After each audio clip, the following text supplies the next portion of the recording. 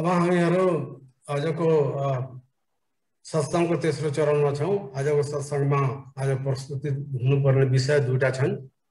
एउटा गुरु महिमा, आज गुरु पूर्णिमाको दिन। हामीहरू सबैजना हाम्रा आदरणीय गुरुका प्राप्त गरेको आशीर्वादको कारण छौँ। हामी आज सम्झौँ। र दोस्रो छ आध्यात्मिक चेतना। दुवै विषयमा प्रस्तुत गरिदिनुको लागि एउटा डाक्टर रोजन घिम्रेज्यूलाई अनुरोध छ डाक्टर साहब प्लिज ईश्वरीय शक्तिलाई नमन। स्वामी वेदाद्री महर्षिलाई नमन। यहाँहरू उपस्थित सबैलाई मेरो हार्दिक नमस्कार अनि स्वागत। आज गुरु पूर्णिमाको दिन यो गुरु पूर्णिमाको यो अवसरमा पनि सबैलाई शुभकामना र यो गुरु महिमालाई राम्रोसित हामी बुझेर गुरुले सिकाउनु भएको मार्गमा हामी हिँड्न सकौँ। त्यो हामीलाई सबैलाई त्यो उत्साह त्यो सक्षमता त्यो लङ्गिङ त्यो प्राप्त होस् भन्ने मेरो कामना। हामी सबैलाई त्यो प्राप्त होस्। म सुरु गर्दाखेरि गुरु वन्दनाबाट सुरु गर्न चाहन्छु। मेरा आँखी भाउ बिचमा हजुरको कोमल स्पर्शले मेरो जीवन शक्ति जगायो। सहस्रारमा ध्यानले मेरा छापहरू हटाई मसँग मलाई नै उजागर गरायो। छापहरूबाट मुक्त भई। त्यो एकसित एकाकार भई। म बुझ्दछु, म कहाँबाट आएँ? मेरा गलत कर्मका परिणामहरू बुझ्न सकी मेरा इन्द्रियहरूबाट पार पाएँ। म भित्रको मेरो जीवन शक्ति र जीवन शक्ति भित्रको भगवान। सबै मेरो लागि प्रष्ट भए। सद्गुण र सद्भाव मार्फत मानिसहरूलाई जित्ने तरिकाहरू सबै बुझ्न सजिलो भए। मानव जातिको मुक्तिको लागि व्यायाम कायाकल्प र कर्मयोग सिकाउने। प्रिय हे गुरु हजुरको ख्याति सधैँ रहिरहोस्। प्रिय हे गुरु हजुरको ख्याति सधैँ रहिरहोस्। हजुरको ख्याति सधैँ सधैँ रहिरहोस्। ब्लेस्ड बाई द डिभाइन आज हामी गुरुलाई यति शब्दले हाम्रो श्रद्धा सुमन राखेर उहाँको पाउमा उहाँको महिमा अलिकति उहाँको बारेमा योगीराज श्री वेदाद्री महर्षिको बारेमा हामी केही बुझ्न खोजौँ। कतिजनालाई थाहा होला हामी दोहोऱ्याइरहेको भान हुन सक्छ तर गुरुको महिमा भनेको कस्तो भने हामी जति कुरा गर्छौँ त्यति हाम्रो स्पिरिचुअल पाथ अझै दृढतासँग अगाडि बढ्दछ। त्यही भएर गुरुको महिमा कहिले पनि रिपिटेसन दोहोरिएको जस्तो नमानिकन हामीले बुझ्न सिक्न बोल्न कुरा गर्न सकिरहनु पर्छ र आज यसको लागि विशेष अवसर पनि हो। गुरुको महानता हामी बुझ्ने कोसिस गरौँ।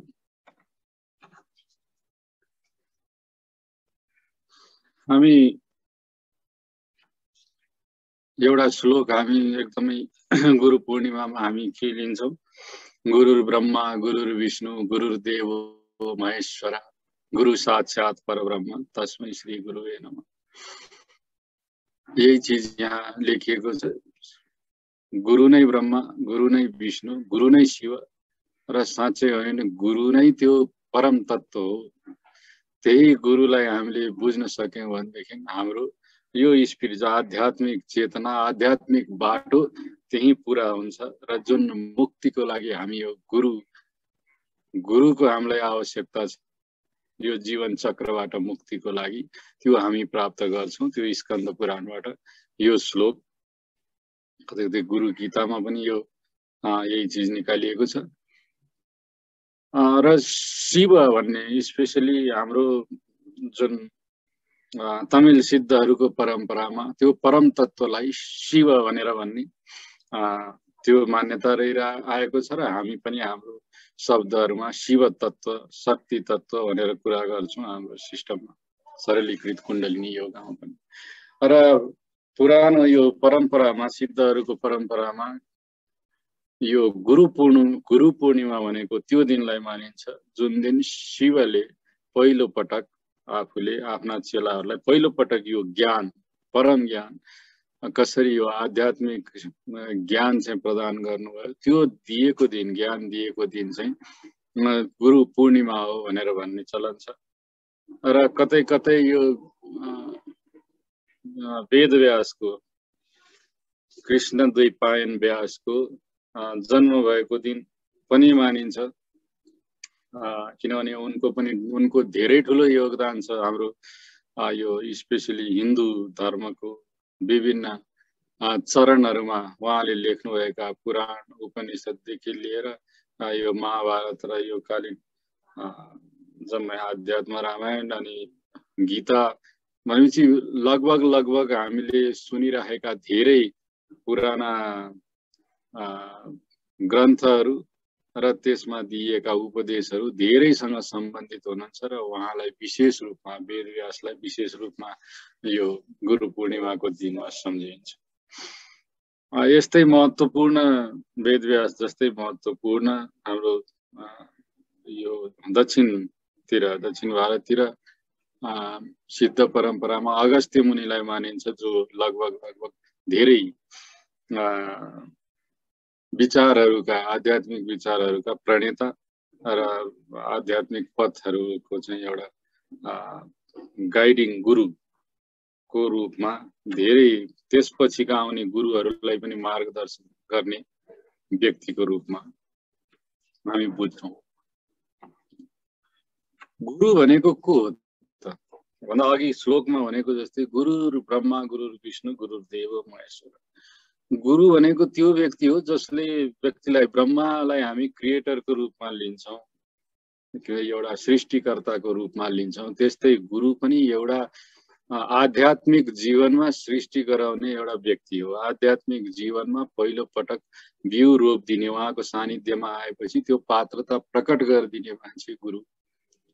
गुरुर ब्रह्मा गुरुर विष्णु भनेको त्यसलाई मलजल दिने त्यसलाई बाटो बाटो भट्किन नदिने त्यसलाई अझै विकसित गरेर पूर्णतातिर लैजानलाई हरेक बाटो नियम अथवा अनुशासन अथवा ज्ञान जुन समयमा उसको साधना पथमा जे आवश्यक पर्छ त्यो सबै दिएर उसलाई नर्चर गर्ने उसलाई विकसित बनाउने गुरु विष्णु गुरुदेव महेश्वर। महेश्वर भनेको डिजल्भ गर्ने र अन्त्यमा जुन एउटा सानो ज्ञानकै अहङ्कार अथवा व्यक्तिको जुन इगो मूल रूपमा बसेको हुन्छ त्यसलाई पनि मेटाएर त्यसलाई कम्प्लिटली डिजल्भ गरिदिने व्यक्ति पनि गुरु साक्षात् महेश्वरको रूप पनि गुरु। र यदि त्यो सबै डिजल्भ भइसक्यो भनेदेखि अन्त्यमा जुन पदार्थ चेतना जुन परम चेतना हामीले भेटाउँछौँ त्यो परम चेत भेटाउँछौँ त्यो परम चेत त्यो डिभाइन जुन आत्मा अथवा परमात्मा भनेर चिन्छौँ त्यो डिजल्भ भएको अवस्थामा त्यति बेला हामी साक्षात् गुरुलाई नै त्यो चेतनाको महान प्रकटीकरण र त्यति बेला आफूमा पनि त्यही चिज प्रकटीकरण भएको थाहा पाउँछौँ। र हामी सबै त्यही नै रहेछौँ भनेर त्यो दिन थाहा पाउँछौँ परम तत्व त्यही भएर गुरु साक्षात् परब्रह्म सुरुदेखि नै हुनुहुन्थ्यो। तर हामीलाई जबसम्म साधना पथमा डोर्याएर हाम्रो सबै अहङ्कारबाट हामीलाई त्यो अहङ्कारलाई विनाश गरेर हामीलाई त्यो मुक्ति जबसम्म देखाउनुहुन्न तबसम्म उहाँलाई हामी उहाँ नै परम तत्व हुनुहुँदो रहेछ र हामी सबै नै त्यही रहेछौँ भनेर बुझ्न नसक्ने स्थिति हुन्छ। त्यही भएर गुरु भनेको सबै विस्टम फुल पर्सन भनेर यहाँ भनिएको त्यो ज्ञानको भरिपूर्ण अवस्था पुरा पुरा अवस्था भएको व्यक्ति गुरु हो जसले चाहिँ हरेक अर्को व्यक्तिलाई त्यो परम चेतनामा विकसित हुनलाई त्यो परम चेतनालाई प्राप्त गर्नको लागि अर्को व्यक्तिलाई पनि मार्गदर्शन गर्नुहुन्छ। त्यही गु रु भनेको संस्कृतमा रु भनेको यो के अरे ज्ञान र गु भन्ने शब्द संस्कृतमा अँध्यारो त्यही भएर त्यो अँध्यारोबाट चाहिँ उज्यालोतर्फ ज्ञानले त्यो उज्यालोतर्फ ल्याइदिने व्यक्तिलाई त्यो शब्दलाई मिसाउँदा गुरु भन्ने शब्द आइपुग्यो। र त्यसको त्यही नै महत्त्व छ। त्यही अर्को हाम्रो गुरु ब्रह्मा भन्ने श्लोकको अर्को लाइनमा अज्ञान तिमिरान्धस्य ज्ञानाञ्जन शलाकया अनि चक्षुर उन्मिलितम तस्मै श्री गुरु हेर्नु ज्ञान त्यो अज्ञानको तिमिर त्यो अन्धकारबाट चाहिँ उज्यालोतर्फ लगिदिने अथवा त्यो आँखा खोलिदिने ज्ञान आञ्जन सलाह त्यो ज्ञानको त्यो छेस्कोले चाहिँ आँखा खोलिदिने त्यस्तो व्यक्ति त्यो गुरु। र यो तयुमानर भन्ने सन्त हुनुहुन्थ्यो उहाँ पनि साउथको एकजना सिद्ध र उहाँले के भन्नुभएको छ भने गुरुको आशीर्वाद बिना हामीले परमात्माको परम आनन्द जुन हामीले प्राप्त गर्न सक्दैनौँ। कतिपय गुरुहरूले के पनि भन्नुहुन्छ गुरु भनेको त खा त्यो परम सच्चिदानन्द सच्चिदानन्द भनेर जुन हामी भन्छौँ सच्चिदानन्द भगवान्। अथवा त्यो डिभाइन स्टेट जसलाई हामी शिव भन्छौँ हाम्रो भाषामा त्यो मात्रै एउटा गुरु हो। अरू सबै जुन हामीले लौकिक रूपमा हामी गुरु देखिराखेका छौँ त्यो त हाम्रो लागि हामी शिष्यहरूको लागि मार्गदर्शन गर्न त्यही स्वयं भगवान् अथवा सच्चिदानन्द नै त्यो गुरुको शरीरमा प्रकट हुनुभएको हो हामीलाई गाइड गर्नको लागि। त्यही भएर परम गुरु त त्यही नै परमात्मा तत्व हो त्यही सच्चिदानन्द भगवान् हो अथवा सच्चिदानन्द स्टेट जुन हामी भन्छौँ डिभाइन स्टेट त्यो नै हो परम गुरु। एउटा स्पिरिचुअल गुरु आध्यात्मिक गुरु किनभने आजकल हामी शिक्षक र गुरुसँग धेरै कन्फ्युज हुने गर्छौँ। एउटा जो आध्यात्मिक गुरु हो उसलाई हामी गुरु भनेर भन्छौँ। जुन हाम्रो लौकिक जीवनमा हाम्रा कार्यहरू सजिलोसँग पार होस् यो वर्ल्डली लाइफ पनि जुन छ त्यो पनि सजिलोसँग पार होस् भनेर जसले हामीलाई डे टु डे रुटिनका चिजहरू मात्रै सिकाउनुहुन्छ उहाँहरूलाई हामी शिक्षक प्रशिक्षकको रूपमा हामी बुझ्छौँ। र जो गुरु आध्यात्मिक गुरु हुन्छ उहाँले यो लौकिक जीवनमा बाँचिराखेर पनि त्यो परमात्मामा कसरी पुग्ने भन्ने जो बाटो देखाउनुहुन्छ त्यो ज्ञान दिनुहुन्छ उहाँहरूलाई हामी आध्यात्मिक गुरु अथवा खालि गुरु मात्रै भन्ने शब्दले हामी बुझ्छौँ। त्यस्तो गुरु कस्तो हुनुहुन्छ त्यस्तो गुरु सबै ज्ञान। उहाँमा ज्ञान र विभिन्न स्रोतहरू ज्ञानका स्रोतहरू पनि उहाँले बताइदिन सक्ने खालको मान्छेलाई गाइड गर्न सक्ने खालको हुनुहुन्छ। सेल्फ उहाँ आफै नै गुरु जो हो उहाँ आफै आत्मज्ञान प्राप्त गरेको आफूलाई बोध गरेको र परमात्मा बोध गरेको रहनुहुन्छ। लिभ अलरेडी मुक्त ज्ञानी विवेकशील निरन्तर परमात्मामा लिन भइराखि भइराख्ने र उहाँको जुन रेडियन्स हुन्छ त्यो परमात्मामै भिजेको जस्तो सबैले अनुभव गर्न सक्ने खालको हुनुहुन्छ। र सेल्फलेस निस्वार्थ बिना कुनै अहङ्कारको एकदम विनित जुन बेला पनि कसैलाई पनि अहङ्कारको अलिकति पनि झल्को नदेखिने खालको कुनै पनि चिजसँग आसक्ति नभएको इन्डिफरेन्ट कुनै चिजमा पनि विशेष आसक्ति नभएको जति बेला जे आवश्यक पर्छ त्यति मात्रै गर्ने खालको। तर कस्तो भने आफूले जे सिकाइराखेको छु आफूले जे प्रचार गरिराखेको छु परमात्माको बारेमा जे ज्ञानहरूलाई बाँडिराखेको छु त्यही चिज आफूले पनि आफूमा आफ्नै दिनचर्यामा लागू गरिरहेको व्यक्ति। अनि जुन आफूले बोलेको हुन्छ त्यही चिज आफूले पनि कर्ममा उतारिरहेको व्यक्ति त्यस्तो व्यक्ति आध्यात्मिक गुरु र त्यो त्यस्तो आध्यात्मिक गुरु जसलाई प्रतिष्ठा नाम सम्पत्ति अथवा यो मेरो यो मेरो प्रचार हुनुपर्छ मैले यति चिज प्राप्त गर्नुपर्छ अथवा मान्छेले मानिदिनुपर्छ भन्ने त्यो भावनाबाट कम्प्लिटली पूर्ण रूपमा चाहिँ रहित व्यक्ति त्यसलाई कम्प्लिटली छोडेको व्यक्ति त्यस्तो व्यक्तिलाई आध्यात्मिक गुरु भनेर हामी भन्छौँ र त्यस्तै व्यक्ति मात्रै यस्ता क्वालिटिजहरू गुणहरू भएको व्यक्ति मात्रै आध्यात्मिक गुरु हुन सक्दछ। केही गुरुहरूको नाम यहाँ छ जस्तै पुरानोमा हामीले यहाँ केही नाम छुटेका पनि होला जस्तो हामीले सबभन्दा बढी सुन्ने यो अगस्त्य मुनि अनि पतञ्जली तिरुमुलर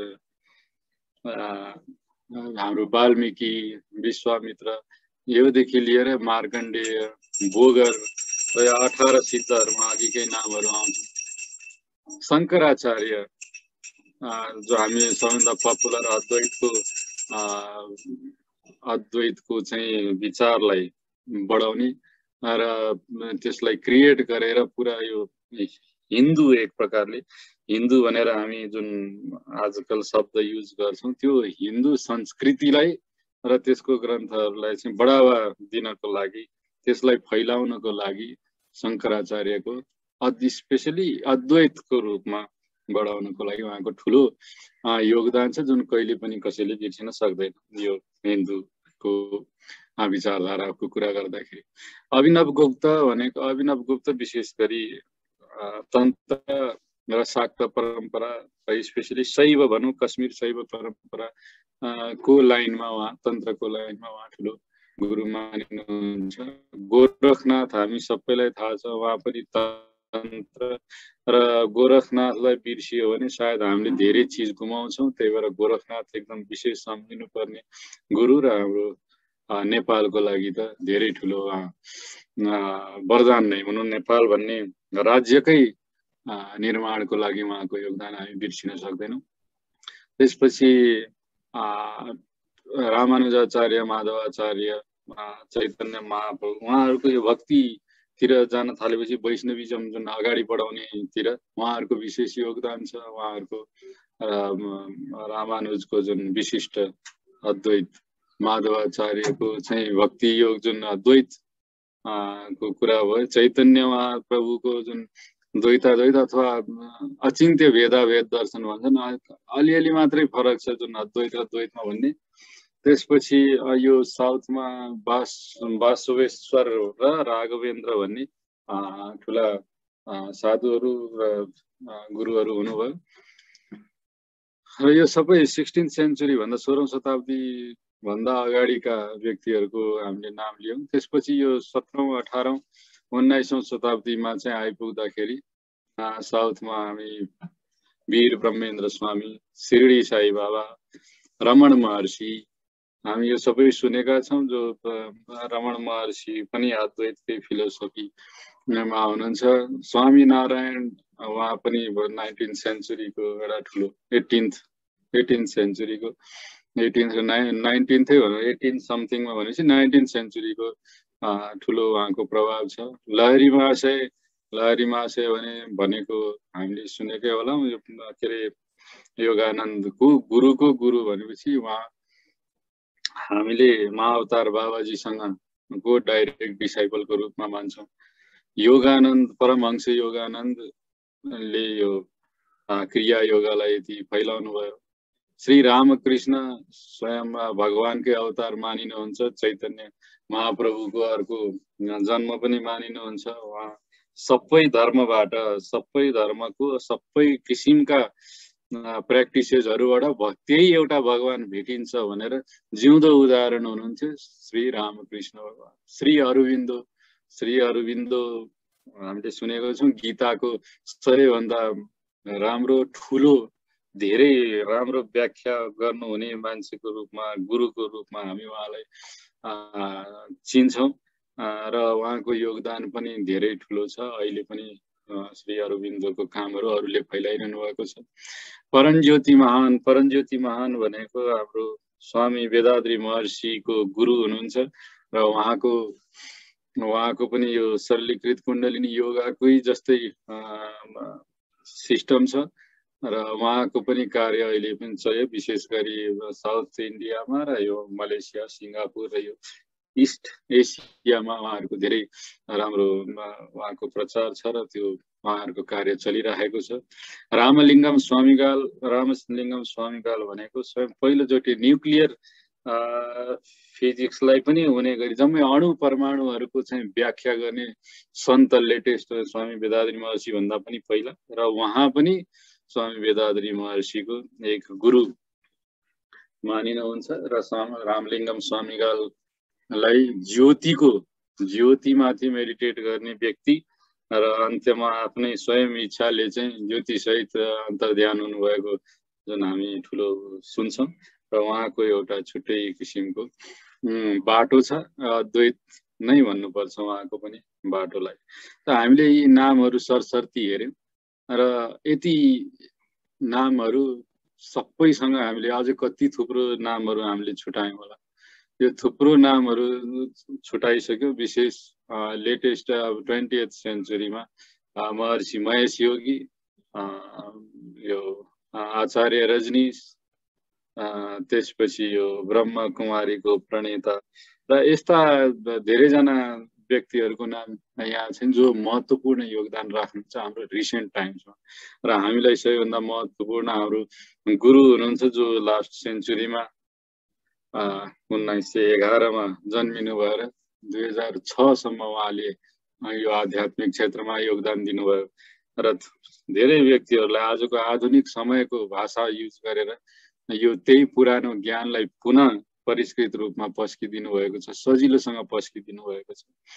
उहाँको बारेमा अब हामी कुरा गर्छौँ। योगीराज वेदाद्री महर्षि आफैमा इन्लाइटेन्ड व्यक्ति सेल्फ रियलाइज व्यक्ति हुनुहुन्छ। न त हामी गुरु भन्ने शब्द हामी युजै गर्दैनौँ। जो व्यक्ति आत्मज्ञान प्राप्त गरेको छैन परमात्मा ज्ञान प्राप्त गरेको छैन त्यो व्यक्तिलाई गुरु भनिँदैन। उहाँ एकजना आत्मज्ञानी परमात्मा बोध प्राप्त गरेको व्यक्ति हुनुहुन्थ्यो। उहाँले के गर्नुभयो भन्दा यो योगको सिस्टमलाई योगको जुन विधा छ त्यसलाई चाहिँ सजिलो बनाइदिनु जुन पतञ्जलि योग पतञ्जलीले निर्माण गर्नुभएको योग धेरै प्रचलित छ त्यसलाई सरल बनाएर त्यसका एक्सर्साइजेसहरूलाई पनि सरल र ध्यानका प्रक्रियाहरूलाई पनि सरल गरेर उहाँले यो परम चेतनामा कसरी आफूलाई लिन गराउन सकिन्छ त्यसको लागि एउटा एउटा प्रणाली बनाउनु हो सजिलो किसिमको प्रणाली जसलाई हामी आज शैलीकृत कुण्डलिनी योग प्रणाली भनेर भन्छौँ। र उहाँले परमात्मा यो जुन परमात्मा भनेको के हो त्यो दिव्यता भने भनेको के हो भन्ने चिजलाई यो म्याग्नेटिजमको फिलोसफी जुन म्याग्नेटि जुन हामी चुम्बकीय तत्त्व भनेर भन्छौँ यो युनिभर्सल म्याग्नेटिजम र बायो म्याग्नेटिजम यो यो थ्योरी दिएर उहाँले यो परमात्मा बोध र परमात्मा भनेकै के हो भनेर चाहिँ उहाँले आजको भाषामा आजको शब्दमा साइन्सको भाषामा उहाँले बुझाइदिनु भएको छ। र फिजिकल एक्सर्साइजेसहरू जति पनि छ शारीरिक व्यायाम र विशेष खालको योगिक सिद्धहरूको योग भनेर भनिन्छ कायाकल्प योग। त्यो हामीलाई दिनुभएको छ सरलीकृत रूपमा र सबैभन्दा महत्त्वपूर्ण कुरा उहाँले आफूले जे बताउनु भएको छ यसले पुगिन्छ र यो गर्नुपर्छ भनेर त्यो आफैले प्र्याक्टिस गर्नुहुन्थ्यो। र त्यो उदाहरण जिउँदो उदाहरण हुनु हुनुहुन्थ्यो कि यसरी बाँच्नुपर्छ एउटा गृहस्थ भएर पनि यसरी बाँच्नुपर्छ भनेर उहाँ आफै इक्जाम्पलको रूपमा बाँच्नु उहाँले व्यक्तिलाई एउटा परमात्मामा लिन गराउने तर्फको काम एकातिर छ भने एउटा वृहत रूपमा सोसाइटी र विश्व नै त्यो शान्तिको बाटोमा हिँड्नुपर्छ र त्यो विश्व नै एउटा व्यक्ति परमात्मा चेतसम्म पुग्नको लागि सहज ठाउँ बनोस् उसले जे क्रियाकलाप गर्छ त्यो परमात्मा बोधमा बसेर आत्मबोधमा बसेर पनि गर्न सक्ने ठाउँ यो विश्व होस् भन्ने हिसाबले उहाँले विश्व शान्तिको बाटोमा पनि काम गर्नु भनेपछि उहाँले यो यो यो चिज गर्यो भनेदेखि चाहिँ विश्वमा शान्ति हुन सक्छ विश्वमा सहज वातावरण हुन सक्छ व्यक्तिले भौतिक र आध्यात्मिक दुइटै विकास गर्न सक्छ भनेर उहाँले प्रस्तुत गर्नुभएको छ एउटा ब्लु प्रिन्ट जसलाई हामी वेदाद्रियम भनेर भन्छौँ। सायद त्यो कुनै दिन हामी विशेष रूपमा प्रस्तुत पनि गरौँला। वेदाद्रियम भन्नाले त्यहाँ चौधवटा मूलभूत प्रिन्सिपल्सहरू छन् जसलाई हामीले पुर्याउन सक्यौँ भने जसलाई हामीले पुर्याउन सक्यौँ भने यो विश्व सही मानेमा आध्यात्मिक चिन्तन र आध्यात्मिक विकासको लागि पनि यो सहज त्यसले सर्कमस्टेन्सेसहरू निर्माण गर्न सक्छ त्यसको लागि वातावरण निर्माण गर्न सक्छ यो भौतिक सुविधा सहित नै त्यसमा विशेष गरी वारबाट यो युद्धहरूबाट मुक्त हुनुपर्छ या कुनै रिसोर्सेसहरू जति पनि छन् त्यो सबैको पहुँचमा हुनुपर्छ पानीको पहुँच हुनुपर्छ खानाको पहुँच हुनुपर्छ अरू त्यस्तै चिजहरू मोरल चिजहरू र अरू चाहिँ चिज छन् त्यसमा चौधवटा यो संसारमा। कसरी काम हुनुपर्छ? इकोनोमिक रूपमा कसरी हुनुपर्छ? सोसल रूपमा कसरी हुनुपर्छ? वर्ल्डको गभर्मेन्ट एउटा हुनुपर्छ? यस्ता चिजहरू छन् जसले समग्रमा यस्तो विश्व सायद अब बन्छ होला कुनै समयमा किनभने त्यसको विकल्पहरू कुनै छैन। यदि संसारमा विवाद द्वन्द युद्धहरूबाट मुक्ति र आध्यात्मिक चेतनाको विस्तार हुँदै गयो भने उहाँले राख्नु भएको त्यसको विकल्प छ जस्तो लाग्दैन। त्यसैलाई हामी वेदाद्रियम भनेर भन्छौँ। त्यो एउटा ठुलो योगदान उहाँले दिएर जानुभएको छ। र अगाडि जसले पनि स्वामी वेदाद्री महर्षिको फिलोसफीलाई अगाडि बढाउने समाजसम्म त्यसको योगदान पुगोस् भन्ने चाहन्छ उनीहरूको लागि त्यो चौधवटा चाहिँ डोरी जस्तो छ त्यो सूत्रहरू जस्तो छ जुन हामी त्यसमा काम अगाडि बढाउन सक्छौँ। उहाँले यी सबै चिज आध्यात्मिक भौतिक यो सामाजिक यो सबै चिजको लागि एउटा माध्यम बनाउनको लागि एउटा वर्ल्ड कम्युनिटी सर्भिस सेन्टर भन्ने एउटा संस्था उन्नाइस सय अन्ठाउन्नमा उहाँले बनाउनु र त्यसपछि नै यो बाँकी चिज जति पनि सरलीकृत कुण्डलिनी यो कायाकल्प यो यिनीहरू चाहिँ प्रचार गर्ने अरू केन्द्रहरू त्यसपछि इस्टाब्लिस भए। आज पनि यो सबै कार्यक्रमहरू हाम्रो विश्व समुदाय सेवा केन्द्रबाटै सञ्चालित हुन्छ। उहाँले लगभग अठार सय त्रिपन्न तमिल पोएमहरू लेख्नु भएको छ टोटलमा दुई हजार जति। र उहाँले जम्मा जम्मी अस्सीवटा जति किताब लेख्नुभएको जसमा बाहन्नवटा तमिलमा र अठाइसवटा चाहिँ अङ्ग्रेजीमा यहाँ दुइटै बाहुन्न बाहुन्न भएको छ अठाइसवटा चाहिँ अङ्ग्रेजीमा लेख्नुभएको छ। यो एउटा पहिलोपल्ट जुन उद्घाटन गर्ने क्रममा यस्तो थियो विश्व समुदाय सेवाको केन्द्रको उद्घाटन गर्ने क्रममा। हाम्रो यो फोटोमा देब्रेपट्टि अलि अग्लो जुन नजिकै फोटोमा नजिकै हुनुहुन्छ उहाँ स्वामी वेदाद्री महर्षि हुनुहुन्छ। उन्नाइस सय अन्ठाउन्नको फोटो हो यो। र यो त्यति बेलाको विश्व समुदाय सेवा केन्द्र चेन्नईमा थियो सायद। सुरुमा पहिलोचोटि गर्दाखेरि यो अहिले पनि यसको हेडक्वार्टर चेन्नईमै छ। वेदाद्री महर्षिको यो अलि यङ युवा अवस्थाको तस्विर हो देउरीपट्टि यो पछिल्लो तस्विर यो लेट यो दुई हजार तिन दुई हजार चारतिरको तस्विर हो। दुई हजार छसम्म रहनुभयो र चौध अगस्त उन्नाइस सय एघार अठाइस मार्च दुई हजार छ। हामी यो दुइटैलाई कुनै कुनै कार्यक्रम राखेर त्यो सेलिब्रेट गरिराखेका हुन्छौँ। र उहाँको समाधि मा जहाँ छ त्यसलाई मणिमण्डपम भनेर त्यही आलियारको जुन मुख्य केन्द्र छ स्पिरिचुअल केन्द्र त्यो केन्द्रमा उहाँको समाधि छ। र त्यही समाधि नै त्यो मेडिटेसन हलको सेन्टरमा छ। र त्यसको एकदम चुम्बकीय आकर्षण छ। त्यो त त्यही साक्षात्कार त्यहीँ गएर गरेपछि मात्रै थाहा हुन्छ। त्यो उहाँको जुन हामी कुरा गर्छौँ सिद्धहरूको जुन चुम्बकीय आकर्षण त्यसलाई उहाँ समाधि पश्चात पनि हामी त्यहाँ अनुभव गर्न सक्छौँ। उहाँको जर्नीमा हामी छोटोमा हामी के कुरा गरौँ भने एकदम गरिब परिवारमा हुर्किनु भएको हुर्किनु जन्म भएकै एकदम गरिब परिवार जुन कपडा बुन्ने स्पेसली त्यो लुङ्गी त्यहाँको चलन छ त्यो लुङ्गी बुन्ने कपडा बुन्ने परिवारमा हुनुहुन्थ्यो विबर फ्यामिलीमा कति भने दिनभरि काम गरेन भनेदेखि बेलुका खान पाउने पनि स्थिति थिएन।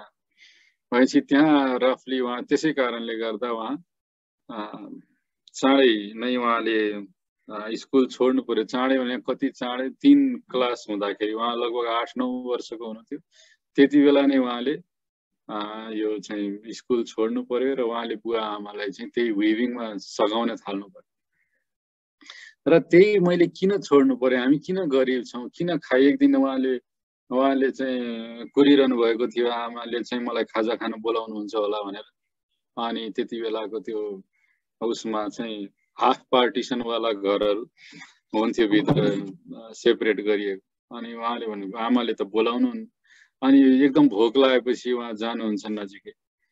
पाएन जाँदाखेरि त आमा पनि रोइरहनु भएको छ बुवा पनि रोइरहनु भएको छ। अनि किन रुनु भएको आज खानेकुरै छैन।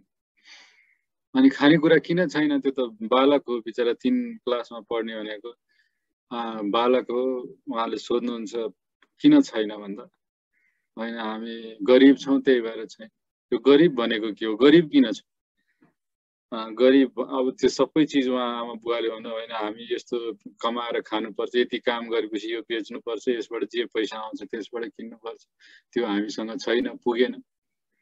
अनि उहाँले त्यही दिनबाट उ गर्नुहुन्छ कि म अब पढ्दिनँ। म पनि समझ किनभने खानको लागि पैसा चाहिन्छ पैसा यो कपडा बुनेर बेचेपछि पाइन्छ भनेपछि उहाँले दिनभरि नौ बजे बिहान छ बजीदेखि राति नौ बजीसम्म उहाँ यो चलाउनुहुन्थ्यो यो जुन तानमा कपडा बुन्ने काम गर्नुहुन्थ्यो। र त्यहाँबाट उहाँको र त्यही दिनपछि उहाँले सुरुवाती क्षणबाट उहाँले चारवटा प्रश्न थियो। यो संसारमा किन यो गरिबी किन छ? यो दुःख किन छ? र कसैलाई सुख किन छ? तेस्रो भनेको यदि किनभने उहाँहरू त रिलिजियस जेनरली त्यो ठाउँमा रिलिजियस ब्याकग्राउन्डको र त्यहाँ जेनरली एउटा नजिकै गणेश मन्दिर थियो अरे जहाँ उहाँले चाहिँ पूजा गर्न जानुहुन्थ्यो। एकदम गजबसँग किनभने उहाँलाई कसैले बताइदिएको थियो कि भगवान्ले नै हो सबै चिज हेर्ने। भगवान्ले नै कसैलाई गरिब परिवारमा जन्मेका छौँ भने पनि त्यही डिभाइनको कारणले हो। धनीमा पनि छौँ भने पनि त्यही हो। त्यही भएर भगवान्। यो भगवान् भनेको के हो? र यो जुन चिजले गर्दा हामी बाँचिराखेका छौँ त्यो के हो? त्यसको मूल के हो भने यो चारवटा प्रश्न उहाँको त्यति नै बेलादेखि सुरु भयो। र त्यति नै बेलादेखि सुरु गरेको व्यक्तिले पछि आफै सेल्फ स्टडी गर्दा उहाँले बिस्तारै के थाहा पाउनु ओहो नपढिकन यही काम गरिराख्यौँ भने यही कपडा बुन्ने छदेखि नौ गऱ्यौँ भने त हामी कहिल्यै यो चक्रबाट निस्किन सक्दैनौँ भन्ने थाहा पाएर त्यो उहाँले बिस्तारै पढ्दै जानुहुन्छ सेल्फमा उहाँले नौ कक्षासम्म पढ्नुहुन्छ। त्यसपछि उहाँले यो के पनि बुझ्नुहुन्छ भने अङ्ग्रेजी नपढिकन चाहिँ अब हाम्रो सुध्रिनेवाला छैन भनेर उहाँले अङ्ग्रेजी आफै ट्युसन दिनभरि छ बजेसम्म त्यसपछि बेलुका काम गर्नुहुन्छ र दुई घन्टा निकालेर एकजना ट्युसन टिचर खोजेर आफैले अङ्ग्रेजी पढ्न जानुहुन्छ। र त्यसपछि त्यो नौ कक्षासम्म पढिसकेपछि उहाँ सहरतिर चेन्नई जानुहुन्छ सहरमा गइसकेपछि उहाँले बिस्तारै एउटा उसमा काम गर्नु विभिन्न अड जब्सहरू गर्नुहुन्छ। तर उहाँको जीवन चेन्ज हुन्छ एउटा औषधि पसल जुनमा आयुर्वेदिक र होमियोप्याथिक औषधि पसलमा उहाँ काम गर्न थाल्नुहुन्छ। त्यसपछि उहाँको जीवन बदलिन्छ किनभने त्यो पसल कसको थियो भन्दा वैद्यराज श्री भूपति राव कृष्ण भूपति राव भन्ने उहाँ हुनुहुन्थ्यो। उहाँ चाहिँ अहिले पछाडि नाम पनि आउँछ। सो उहाँ डक्टर हुनुहुन्थ्यो होमियोप्याथीको र आयुर्वेदको। र उहाँको पसलमा बस्दा बस्दा उहाँले होमियोप्याथी पनि सिक्नुभयो त्यो आयुर्वेद पनि सिक्नुभयो त्यो औषधिको बारेमा पनि बुझ्नुभयो। र विशेष रूपमा उहाँले मेडिटेसन गर्न सिक्नुभयो। मेडिटेसन गर्न सिक्नुभयो। र यो मतलब के हो यो भगवान् भनेको के हो? हामी भनेको के हो? जीवन शक्ति भनेको के हो? त्यो सबै उहाँले त्यो सिक्नुभयो त्यहाँनिर। त्यो र त्यो उहाँको टर्निङ पोइन्ट थियो। र त्यही बिचमा केही पैसा जुन जम्मा गर्नुभएको थियो त्यसैले उहाँले पछि फर्केर आएर टेक्सटाइल इन्डस्ट्री नै खोल्नु भयो टेक्सटाइल इन्डस्ट्री जहाँ हजारजनाभन्दा बढी काम गर्थे। र उहाँको जीवन शैली कुनै पनि ठुलो बिजनेसम्यान अलि धेरै नै धनी त्यति बेलाका करोडपतिहरूभन्दा कम थिएन। त्यो समय पनि देख्नुभयो उहाँले। र त्यसपछि एउटा पोइन्ट आयो जहाँ उहाँले त्यो सारा चिज गुमाउनु पनि पर्यो। विभिन्न गभर्मेन्टको केही रुल्सहरू र केही परिवर्तनहरूको कारणले। र त्यो समयपछि उहाँ फेरि रोडमा पनि आउनु पर्यो पुनः श्रीमती सहित। र रोडमा फेरि फेरि त्यही उहाँको वाइफ जो गुरुआमा हुनुहुन्छ उहाँले खिर बनाउनुहुन्थ्यो र त्यही खिर लगेर बेच्नु पर्ने अनि त्यही बेचेको चिजबाट फेरि जे आउँछ त्यसले आफू पालिनु पर्ने। तर त्यति बेलासम्म उहाँले अठोट लिइरहनु लिइसक्नु भएको थियो कि अबको मेरो जीवन भनेको आध्यात्मिक चेतना र आध्यात्मिक जागृति बढाउनुहुन्छ किनभने भौतिक सुख सयल त मैले हेरिसकेँ।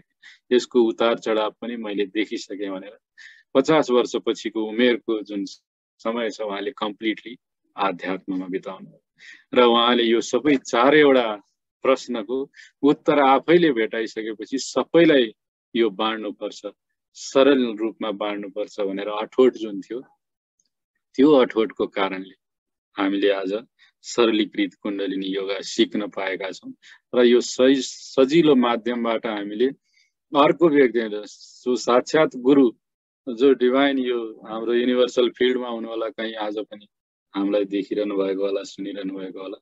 हामीलाई गाइड गरिरहनु भएको छ र उहाँले यस्तो मेथड बता बताइदिनु भएको छ बनाइदिनु भएको छ जुन सिस्टममा कि त्यो अर्को व्यक्तिबाट अर्को व्यक्तिमा ट्रान्सफर हुन सक्ने सजिलो मेथड पनि बताइ बनाइदिनु भएको छ र आफ्ना फिलोसोफीहरूलाई यति सजिलो बनाइदिनु भएको छ कि हामी आज सजिलै त्यो चिज बुझ्न सक्छौँ। गुरु गुरुको गुरु अघि भनिहालेँ गुरुको गुरु को को हुनुहुन्थ्यो भन्दा तिनजना विशेष रूपमा लिनुपर्छ अघि मैले भने गणेश मन्दिरमा पूजा गर्नुपर्छ भनेर सिकाउने पहिलोपल्ट भक्तिको रूपमा सिकाउने जो गुरु हुनुहुन्थ्यो सानोमै सात आठ वर्षको उमेरमै र त्यसपछि उहाँले भन्नुभएको छ आफूले चौध वर्षको उमेरमा उहाँले रेगुलर बिहान मन्दिरको मन्दिर खोल्ने कामदेखि लिएर एकदेखि डेढ घन्टा लगाएर त्यो गणेशको मूर्तिलाई नुहाउने धुवाउने पूजा गर्ने एकदम भक्तिभाव सहित। तपाईँ नै हो मेरो कल्याण गर्नुहोस् भनेर जुन भाव सहितको जुन आजकल विशिष्ट रूपमा जुन भक्तिको कुरा गर्नु गरिन्छ त्यो विशिष्ट भक्तिको अनुभव उहाँले चौध वर्षभन्दा पहिलेकै उमेरमा उहाँले प्राप्त गरिसक्नु भएको छ। त्यो मोनिस्टिक जुन विद्या उहाँले पाउनुभयो त्यो पाउनुभयो। श्री ए बालकृष्णन भन्ने जो खासमा त्यहाँको भक्ति भक्तिको सिद्धान्त फलो गर्ने एकजना गुरु हुनुहुन्थ्यो गाउँमै हुनुहुन्थ्यो। उहाँबाट उहाँले प्राप्त गर्नुभयो। र त्यसको लागि हायर भगवान् हो तिमी यस्तो सानोतिनो चिजमा नअल्झ हाम्रो आफ्नो इन्डिभिजुअल चिज त केही पनि होइन। उतार चढाव हुन्छ कोही गरिब हुन्छ कोही धनी हुन्छ। तर हामीले प्राप्त गर्ने चिज भनेको त प्राप्त गर्ने चिज भनेको त के अरे हामीले प्राप्त गर्ने चिज त ब्रह्म त्यो त्यसको लागि यसमा लाग्नुपर्छ पहिला तिमी यो भगवान्प्रति सरेन्डर हो भन्नाले सरेन्डर सिकाउने व्यक्ति श्री ए बालकृष्णन भन्ने दोस्रो मैले अघि भनिहालेँ जो वैद्य भूपति कृष्ण राव जुन उहाँ उहाँलाई मेडिटेसन गर्न सिकाउनु भयो यो यो आइब्रोमा भनेको यो जुन आज्ञा चक्रमा ध्यान गर्न सिकाउनु। तर एउटा समस्या भयो त्यसमा। एउटा समय उहाँले सबै फिलोसोफी र ध्यान सिकाउनु भयो धेरै चिज रियलाइज भयो। तर उहाँलाई हेडेक हुन्थ्यो। हेडेक यो जुन टाउको दुख्ने समस्या हुन्थ्यो त्यो चाहिँ उहाँलाई उहाँको ठिकै भएन। मेडिटेट गर्नुहुन्थ्यो ठिक छ सबै चिज ठिकै भइरहेको थियो। ब्रह्मको रियलाइजेसनसम्म पनि ठिकै थियो। तर यो टाउको दुख्ने समस्या कहिल्यै ठिक भयो अनि एकजना साथीले एकपल्ट के भन्नुभयो भने हो एक ठाउँमा जाउँ न त्यहाँ एकजना गुरु हुनुहुन्छ। उहाँले चाहिँ यस्तो समस्या चाहिँ ठिक गरिदिनुहुन्छ। अनि त्यो को हुनुहुन्थ्यो जहाँ पुग्नुभयो? उहाँ हुनुहुन्थ्यो परञ्ज्योति महान। परञ्ज्योति महान कहाँ पुग्नु भएपछि उहाँले के दिनुभयो यो त धेरै विकसित आध्यात्मिक रूपमा विकसित व्यक्ति हुनुहुँदो रहेछ। त्यो व्यक्ति त्यो विकसित व्यक्तिलाई यो हेडेक भइराखेको छ। उहाँले तुरुन्तै के गर्नुभयो? शान्ति योगा गराइदिनु भयो शान्ति योगा गर्ने बित्तिकै तुरुन्तै त्यो हेडेकबाट मुक्त हुनु र त्यसै कारणले उहाँले यो जुन पछि हाम्रो सरलीकृत कुण्डली योगमा योगमा पनि शान्ति योगको एउटा इन्क्लुजन छ।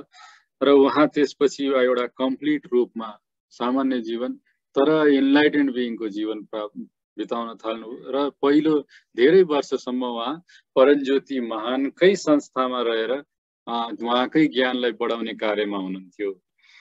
र आफ्नो यो जुन सरलीको यो विश्व समुदाय सेवा केन्द्र खोल्नुभन्दा अगाडि उहाँको एसोसिएसन उहाँलाई नै गुरु मानेर उहाँ गुरु शिष्य दुवैजना मिलेर त्यो टेक्निक लगभग लगभग सिमिलर टेक्निक छ। त्यसलाई बढाउनु भयो तर एउटा समयमा गएपछि गुरु शिष्य बिचमा एउटा सानो फिलोसोफिकल विवाद फिलोसोफिकल विवाद त्यो कतिपय हामीलाई थाहा होला। विशेष गरी हिंसा परञ्ज्योतिमानको लिनिएजमा हिंसा भनेको जनावर एनिमल हिंसालाई चाहिँ सामान्य रूपमा लिइन्थ्यो। त्यसलाई त्यसबाट हट्नुपर्छ भन्ने त्यस्तो खासै थिएन। स्वामीजीको चाहिँ सबै फिलोसोफीमा सबै प्रकारको हिंसाबाट हामी हट्नुपर्छ भन्ने त्यो दुइटामा अलिकति फिलोसोफिकल हुँदाखेरि उहाँले आफ्नो छुट्टै विश्व समुदाय सेवा केन्द्र भनेर सुरु गर्नुभयो र त्यसलाई सरलीकृत कुण्डलिनी योगा भनेर यसलाई विस्तार गर्नुभयो र त्यो अहिले धेरै नै विस्तारित रूपमा छ र त्यो पुरानो प्यारेन्ट संस्था परञ्ज्योति महानको संस्थाभन्दा पनि अगाडि गएको हामी देख्न पाउँछौँ। र तिनजना भौतिक शरीरमा तिनजना जो अघि हामीले कुरा गऱ्यौँ उहाँ ए बालकृष्णन वैद्य भूपति श्री कृष्ण राव अनि परञ्ज्योति महान तिनजना भौतिक शरीरमै उपस्थित जो गुरुहरू हुनुहुन्थ्यो उहाँहरू हुनुहुन्थ्यो र दुईजना अशरीरी गुरुहरू भनेको जो सूक्ष्म शरीरमा दर्शन दिएर उहाँलाई केही चिज विशेष कृपा ग्रेस प्रदान गर्नुभयो र केही शिक्षाहरू प्रदान गर्नु ज्ञान प्रदान गर्नुभयो उहाँ दुईजना हुनुहुन्छ को को भन्दा एकजना स्वामी रामलिङ्गम रामलिङ्गम स्वामी गाल भनेर भन्छ। रामलिङ्गम स्वामी जो अघि कुरा गरे दियोको बत्ती मा उहाँ मेडिटेट गर्ने जहिले पनि व्हाइट टेपिक गरिन्छ। र उहाँ अन्त्यर ध्यान हुनुभयो पछि र उहाँले पहिला पनि केही काम गर्नुभएको थियो यो न्युक्लियर आटोमिक चिजहरूमा। र उहाँ एक दिन उहाँको भिजनमा हाम्रो स्वामीजीको भिजनमा अर्ली मर्निङ बरन्डामा लगभग रेस्ट गरिराखेको बेलामा आइपुगेर चाहिँ अब केही समय चाहिँ म सँगसँगै काम गर्छु। तिम्रो शरीरमा रहेर सँगसँगै काम गर्छु भनेर भन्नुभयो र सायद कतिपयले भन्छन् हाम्रो स्वामीजीले जति पनि यो थ्योरीहरू जति पनि ग्राभिटीको युनिभर्सल म्याग्नेटिजमको जति पनि थ्योरीहरू दिनुभएको छ त्यो उहाँकै प्रभाव हो समलिङ्गम के अरे रामलिङ्गम स्वामीकालकै प्रभाव हो पनि भन्छ। भोगर ऋषि एक दिन आउनुभएको थियो उहाँको यो जुन हाम्रो उसमा सेन्टर जहाँ अहिले अहिले जहाँ स्थित छ तमिलनाडुमा जहाँ अहिले स्थित छ त्यही ठाउँमा एक दिन त्यही पिँढीमा बसिरह पिँढी भन्छौँ हामी त्यही खोड्किलोमा बसिराख्दाखेरि जति बेला त्यो ओम मण्डपम अहिले जहाँ छ जहाँ विभिन्न के अरे चिजहरू सिकाइन्छ क्लासेसहरू हुन्छ सबै छ त्यो बनिसकेको थिएन अरे र त्यति बेला स्वामीजीलाई केही फिजिकल र अरू चिज प्रब्लमहरू पनि थियो। अनि त्यति बेला हाम्रो बोगर ऋषि सूक्ष्म शरीरमा आएर उहाँलाई केही तिनवटा चारवटा मद्दत गरेर जानुभएको छ र केही ज्ञान दिएर जानुभएको छ। ती सबै चिज उपलब्ध हामीलाई अहिले छ त्यो भन्न कतिपय चिज विशिष्ट अवस्थामा प्राप्त गर्नुपर्ने ज्ञान सामान्य अवस्थामा र विभिन्न सुरुवाती चरणहरूमा भइराखेका व्यक्तिहरूको लागि उपलब्ध नहुनु नै श्रेयस्कर हुन्छ। Most of the times nearly hundred percent त्यही भएर ती चिजहरू त्यो अवस्था हाम्रो जति रियलाइजेसन बढ्दै जान्छ त्यति हामी बुझ्दै जान्छौँ। तर दुईजना अशरीरी गुरुहरूको मद्दत पनि उहाँलाई प्राप्त थियो र त्यसपछि उहाँ लामो समयसम्म यो ज्ञान फैलाउन सक्ने अवस्थामा हुनु हुनुभयो। त्यही भएर स्वामी बोगर बोगर ऋषि भनेको सबैभन्दा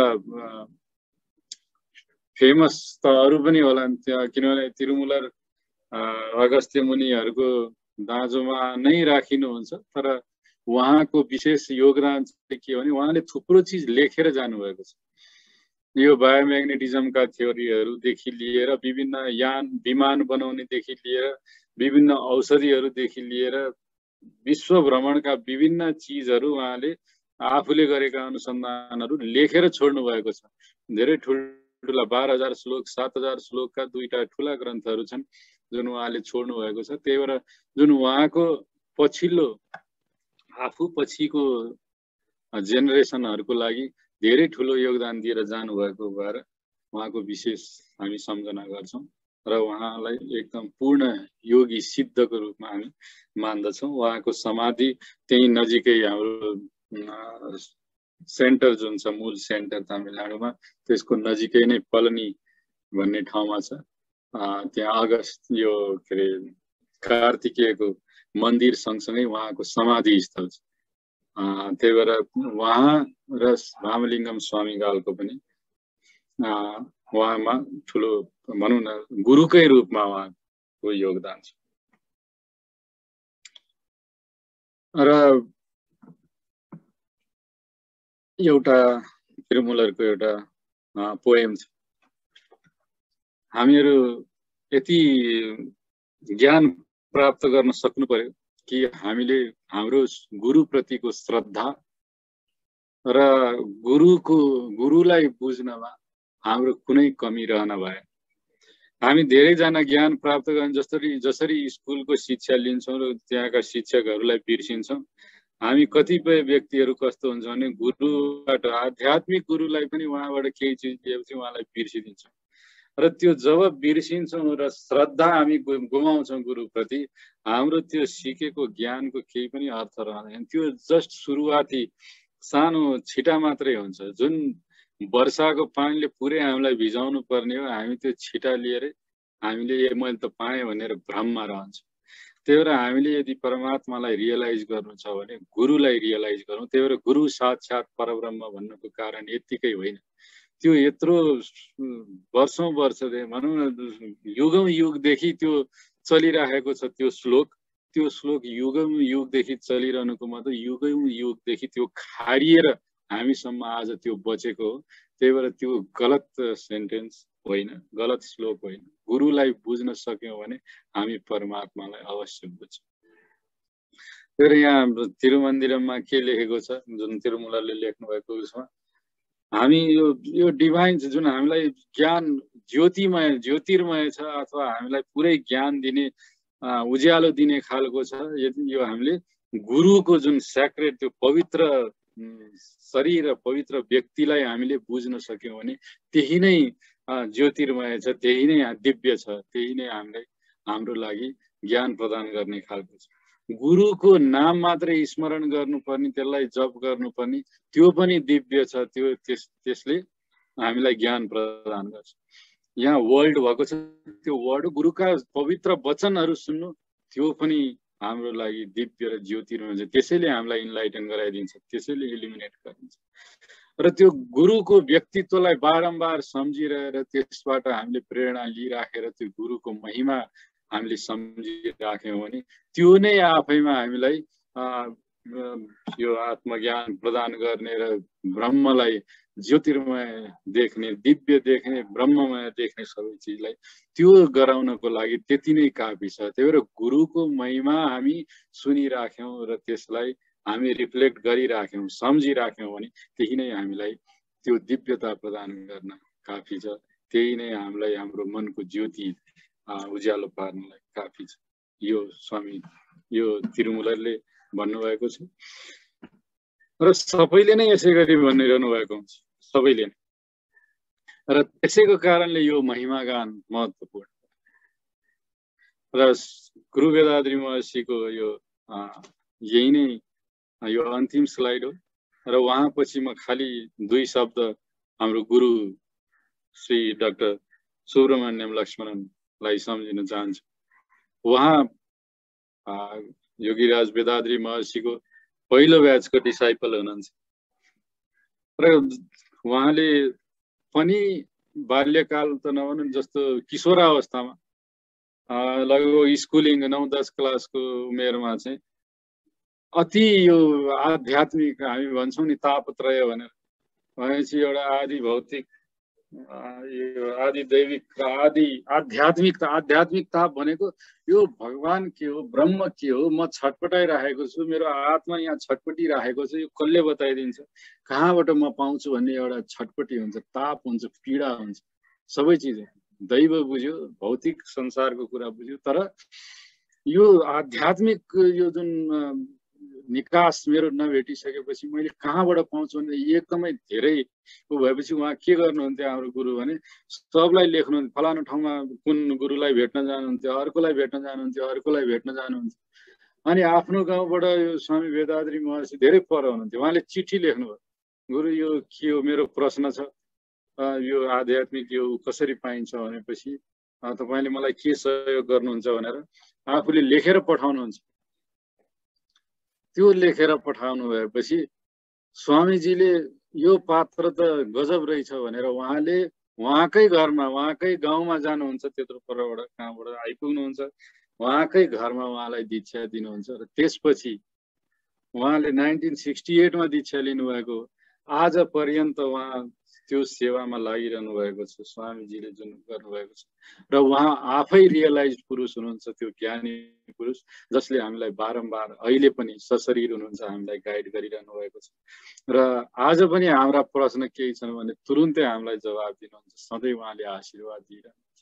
र स्वामीजीको जुन ऊ छ के अरे जुन पनि विचार छ बायोम्याग्नेटिजम र विभिन्न चिजको त्यो सबैलाई एक्सपेरिमेन्टली एक्सपेरिमेन्टली यो उसमा चाहिँ विकसित गर्ने भनेको एक्सपेरिमेन्टली हामीले ल्याउने भनेको उहाँले जुन उसमा आफ्नो एग्रिकल्चरल युनिभर्सिटीमा हुँदाखेरि जुन ऊ थियो के अरे प्लान्टहरूमा जुन उहाँले रिसर्च गर्नुभयो कि यो प्लान्टहरूले त यो लिन सक्छ यो म्याग्नेटिजम भने हामी सबैले लिन सक्छौँ भनेर उहाँले जुन एक्सपेरिमेन्टली यो विचार को प्रवाह र म्याग्नेटिक वेभ्सको प्रवाह हुन्छ भनेर उहाँले भन्नुभयो। त्यसबाट यो चिज डकुमेन्टेड हुनलाई पुगेको छ र त्यसमा उहाँको धेरै ठुलो योगदान छ। र आज पनि उहाँ सेन्ट्रल यो सेन्टरमा हाम्रो सेन्टरमा उहाँले रिसर्च एन्ड डेभलपमेन्ट विङको विङलाई सम्हालिरहनु भएको छ। त्यहाँको डाइरेक्टर हुनुहुन्छ। र अहिले पनि दिनभरि नै उहाँ कुनै क्लासेस कुनै दीक्षा मा अनवरत लागिरहनु भएको छ। त्यस्तो हाम्रो गुरु श्री लक्ष्मणनलाई हाम्रो प्रणाम। र यही उहाँको पनि धेरै महिमाहरू छन् उहाँको धेरै उहरू छन्। हामी बारम्बार कुरा गरिरहेका छौँ। तर आज छोटकरीमा मैले यो यति बताएँ। यसैमा म यो पार्ट चाहिँ म अन्त्य गर्छु गुरु महिमा गान यसलाई यसरी धैर्यतापूर्वक सुनिदिनु भएकोमा सबैलाई धन्यवाद be blessed by the divine म आजको अर्को टपिक लिन चाहन्छु अब। छोटकरीमा जिस्टको रूपमा म फेरि सेयर गर्दैछु अर्को। आजको यो टपिक जुलाई ट्वेन्टी फोरको आध्यात्मिक चेतना भनेर छ। र यो आजको स्वामी वेदाद्री महर्षिको जुन लेख छ आजको लागि त्यो भनेको आध्यात्मिक चेतना। आध्यात्मिक चेतना भन्नाले आध्यात्मिक भनेर हामी केलाई बुझ्छौँ भने जुन जुन चिज ब्रह्मसँग हामी जहाँ छौँ त्यहाँबाट ब्रह्मसम्मको पुग्नको लागि जुन चेतना आवश्यक छ जस्तो खालको जागरुकता हामीलाई चाहिन्छ त्यो खालको चेतना र त्यो चेतनाबाट त्यो जुन परम चेत छ जुन डिभाइन स्टेटमा जुन स्थित छ त्यो चेतना त्यहाँसम्म पुग्नको हामी साधारण हामी मानव चेतनामा अहिले बाँचिरहेका छौँ। त्यहाँबाट त्यो ब्रह्म चेतसम्म पुग्नको लागि जस्तो खालको हाम्रो जागरुकता चाहिन्छ जस्तो चेतना चाहिन्छ त्यसलाई हामी स्पिरिचुअल कन्सियसनेस अथवा आध्यात्मिक चेतना भनेर भनिरहेका छौँ। स्वामीजी कुन उसबाट सुरु गर्नुहुन्छ भने यो फ्रिक्वेन्सी अफ माइन्ड वेभ्सलाई घटाउनु पर्छ भनेर यो जुन हामी जेनरल कुरा गरिरहेको छौँ। यो टपिक सुरुमै किन उहाँले कुरा चर्चा गर्नुभयो भने जबसम्म हाम्रो माइन्ड वेभको फ्रिक्वेन्सी हायर स्टेटमा छ भनेको हामी जेनरल वर्ल्डली काम गरिराखेका हुन्छौँ त्यति बेला हाम्रो माइन्डको फ्रिक्वेन्सी बिटा वेभमा हुन्छ भनेको चौधभन्दा माथि हुन्छ। र त्यो हामी जब पनि अज्ञानतावश अहङ्कारवश अथवा इमोसन भावावेशमा रहि भावावेशमा रहेर हामी काम गर्छौँ त्यति बेला हाम्रो माइन्डको फ्रिक्वेन्सी बढी हुन्छ। र त्यति नै बेला त्यही भावावेशमा भएको अवस्थालाई हामी के भन्छौँ भने सांसारिक चेत अथवा यो वर्ल्डली चेत चेत हो त्यो चेतना। संसारमा लागेको चेतना भनेको भावमा बगेर लागेको चेत। भनेपछि भावनामा बगिसकेपछि त्यो व्यक्तिले संसार देखिरहेको हुन्छ र भावनालाई जब छोड्छ त्यो व्यक्ति आफू माथि फोकस हुन्छ आत्मचेतमा त्यो मान्छे पुग्न सक्छ। त्यही भएर अरू माइन्ड वेभ्स जुन छ माइन्डको फ्रिक्वेन्सी जुन घटाउने कस घटाउँदाखेरि नन इमोसनल थट्स इमोसनल थट्सलाई छोडिदियो भने हाम्रो माइन्डको फ्रिक्वेन्सी घट्छ। माइन्डको फ्रिक्वेन्सी घटेपछि लाइफ एनर्जीको बचत हुन्छ जुन हाम्रो जीवन शक्तिको। हाम्रो शरीर र मनहरू राम्रोसित रेगुलेटेड हुन्छन् किनभने पर्याप्त ऊर्जा छ। हामी आ त्यो माइन्डको फ्रिक्वेन्सी घटाउने क्रममा विभिन्न चिजहरू भावनाहरूलाई छोडिदिएपछि आफ्नो भित्र के चलिरहेको छ भित्र के जम्मा भएको छ भनेर हाम्रो हाम्रा विचारहरू तरिकाहरू हाम्रा हेबिट्सहरू सबै चिज देखिन थाल्छन् र हामी त्यो देखिएपछि हामी आफूलाई करेक्ट गर्न सक्छौँ। र मनलाई त्यो गर्ने क्रममा के हुन्छ नचाहिने चिज छोड्दै गयो चाहिने चिज मात्रै राख्दै गयो भनेदेखि मनमा त्यो दृढता मनको स्ट्रेन्थ बढ्दै जान्छ। र त्यसपछि यी सबै कारणहरूले गर्दा के हुन्छ भने सौहार्दता बढ्छ। किनभने म यस्तो कार्य मात्रै गर्छु यस्तो चिज मात्रै सोध्छु जसले सबैलाई राम्रो मात्रै गर्छ कसैलाई हानि गर्दैन। र सबैसँग म मिलेर त्यो काम गर्न सक्छु र सबैसँग म सही फ्रिक्वेन्सीमा हुन सक्छु सौहार्दतापूर्ण रहन सक्छु। त्यही भएर स्वामीजीले स्टार्ट आध्यात्मिक चेतनाको स्टार्टमै हाम्रो भावनामा नबग्नको लागि उहाँले सुरुमै भन्नुभएको छ र भावनामा नबग्ने बित्तिकै कसरी के हुन्छ हाम्रो यो सबै दुरुस्त हाम्रो शरीर मन र हाम्रो आफ्नो इमिडिएट वरिपरिको वातावरण सोसाइटीसँग हाम्रो तालमेल सही हुन्छ र त्यही तालमेल त्यही हार्मोनी नै हाम्रो उद्देश्य हो। हाम्रो हार्मोनी के केमा भने जुन सामञ्जस्यता छ हाम्रो शरीरसँगको हाम्रो तालमेल मन र शरीरको तालमेल हामी र हाम्रो वरिपरिका व्यक्तिहरूसँगको तालमेल हामी र प्रकृतिसँगको तालमेल हाम्रो इच्छा र हाम्रो प्रकृति यो जुन यो कानुन छ परमात्माको कानुन ईश्वरीय कानुन जुन छ कारण प्रभाव प्रणालीको त्योसँगको तालमेल यही नै त हाम्रो सक्सेस हो। आध्यात्मिक जीवनको यो पूर्णता हो। त्यही भएर त्यसको लागि पहिलो चिज हामीले इमोसनल थट्सलाई हटाउन सकौँ र मेडिटेसन जुन हामी गरिराखेका छौँ ध्यानको अभ्यास गरिरहेछौँ त्यसले के गर्छ भने त्यही आध्यात्मिक चेतनालाई हाम्रो मेटेरियल चेतना भनौँ यो जुन सांसारिक चेतनामाथि हावी गराउँछ। भनेपछि हामी जुन ध्यानको यसमा महत्त्व स्वामीजीले बताउनु भएको छ कि ध्यान गरेर हाम्रो आध्यात्मिक चेतना विकसित हुन्छ। जति जति परमात्मा बोधको नजिक हामी पुग्छौँ त्यति त्यति हामीलाई सजिलो हुन्छ यो सांसारिक चेतनाबाट हट्नको लागि। त्यही भएर त्यो गर्नको लागि हामीलाई जागरुकता चाहियो। हरेक क्षण क्षणमा जागरुकता। कस्तो जागरुकता? हाम्रो जेनरली भन्दाखेरि हाम्रो जुन बोली छ विचार छ र कर्म छ। है सबैभन्दा ग्रस भनेको कर्म हो। हामीले गर्ने कस्तो कार्य गरिरहेछौँ जागरुक भएर गर। कहीँ अरूलाई हर्ट हुने खालको त छैन। सबैलाई नराम्रो गर्ने खालको त छैन। त्यो खालको कर्म त भइराखेको छैन। अनि कर्मप्रतिको जागरुकता। बोलीप्रतिको जाने के बोलिराखेको छु कस्तो खालको चिज बोलिराखेको छु सबैलाई राम्रो चिज बोलिराखेको छु या नराम्रो कसैलाई समस्या गर्ने खालको र द्वन्द्व निम्त्याउने खालको अरूलाई भित्र पीडा पुर्याउने खालको कसैलाई प्रोभोक गर्ने खालको त्यस्तो छ र विचार कस्तो लिइराखेको छु त्यो खालको जागरुकता। भनेपछि ध्यानले त्यो जागरुकता बढाउँछ र त्यो जागरुकताले स्पिरिचुअल कन्सियसनेस बढाउँछ। र जहिले पनि हामी यो सांसारिक चिजहरूमा यो चाहियो त्यो चाहियो भन्न थाल्यौँ भने हाम्रो त्यो आध्यात्मिक चेतना घट्दै जान्छ। त्यही भएर हामीले कसरी जब ध्यानमा बढी लाग्छौँ तब यो चिज कम हुँदै जान्छ मेटेरियल कन्सियसनेस र जति आवश्यक छ त्यतिमै सीमित रहन्छ। र जति जति हामी स्पिरिचुअल आध्यात्मिक चेतनामा बढ्दै जान्छौँ हाम्रो कार्यहरू जुन कर्म गर्छौँ अरूलाई एफेक्ट गर्ने कर्महरू त्यो सधैँ राम्रो हुन्छ र त्यसले राम्रै परिणाम ल्याउँदछ। उद्देश्य के हो हाम्रो जीवनको भनेको त्यही आध्यात्मिक चेतना नै त उद्देश्य हो। त्यो उद्देश्य भनेको त्यो परमलाई प्राप्त गर्नु हो त्यही नै हाम्रो उद्देश्य हो। र त्यसको लागि प्राप्त गर्नको लागि त्यही ध्यान आवश्यक छ। र हाम्रो आध्यात्मिक जुन आध्यात्मिक जीवन भनेको त्यो के हो?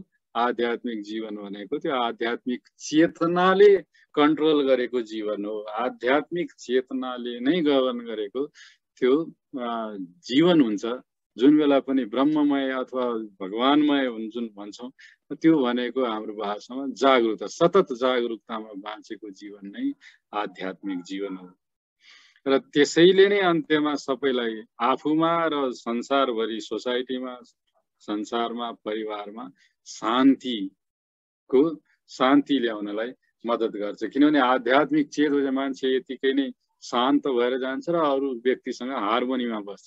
र त्यही हार्मोनीमा बस्दा मानिसले शान्ति र खुसी प्राप्त गर्न सक्दछ। त्यही भएर हाम्रो उद्देश्य त्यही परमचेत प्राप्त गर्नु र त्यही परमचेत प्राप्त गर्नको लागि सुरुबाटै कुनै गुरुको सानिध्य हामीले पाएका छौँ गुरुको विचारको सानिध्य पाएका छौँ उहाँको सिस्टम हामीले पाएका छौँ प्र्याक्टिस गर्नको लागि। हामी प्रोपरली दीक्षित भएका छौँ। र हामीले अझै पनि त्यो गर्न सकेनौँ भने कसले गर्न सक्ला? र त्यही भएर हामीबाट अवश्य हामी सुरु गरौँ। त्यो पिस र हार्मोनी पि पिस र खु आनन्द शान्ति र आनन्द हामीले अवश्य प्राप्त गर्न सक्छौँ। त्यही नै हाम्रो पर्पोज हो। जीवनको उद्देश्य भनेको परमात्मा चित त्यो प्राप्त गर्ने बित्तिकै सबै आनन्दै आनन्द सच्चिदानन्द भन्छौँ हामी। सत्य हुन्छ शान्ति हुन्छ चैतन्य हुन्छ आनन्द हुन्छ त्यहाँ। प्रब्लम कहाँ छ यो चिज पाउनु यति सजिलो लाग्छ आध्यात्मिक चेतना हुनुपर्छ त्यो बाटोमा हिँड्नुपर्छ हामी सबै चिज हार्मोनीमा बस्नुपर्छ भनेर। प्रब्लम कहाँ छ?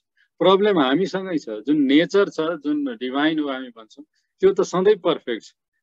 हामी इम्पर्फेक्ट जति बेला पनि कुनै चिज लाग्छ हाम्रो वरिपरि भने के मान्नुपर्छ भने हामीलाई त हामी इम्पर्फेक्ट छौँ। उसले त हामीलाई भनिराखेको छ तिमी इम्पर्फेक्ट भएको कारणले गर्दाखेरि तिमीले मलाई इम्पर्फेक्ट देखिराखेका छौ। मलाई केही चिज भन्नुभन्दा आफूलाई सुधार कारण प्रभाव प्रणालीलाई बुझ। त्यो गर्यो भनेदेखि तिमीले दुःख पाउँदैनौ भनेर त्यो नेचरले जहिले पनि भनिराखेको छ। तर हामी त्यो बुझ्दैनौँ प्रब्लम हामीसँग छ भनेर बुझ्दैनौँ। हाम्रो अर्को प्रब्लम भनेको के हो? हाम्रो लोभ र सांसारिक जुन यो संसारमै बाँचिरहन चाहने त्यहाँको सुख सांसारिक सुख प्लेजरहरू लिन खोज्ने हाम्रो त्यो त्यो चाहिँ हाम्रो प्रब्लम हो। किनभने त्यसले जहिले पनि के गर्छ? दुःखै दिन्छ। पतञ्जलीले भन्दाखेरि जम्मा दुई प्रकारको भनेर क्लिष्ट के अरे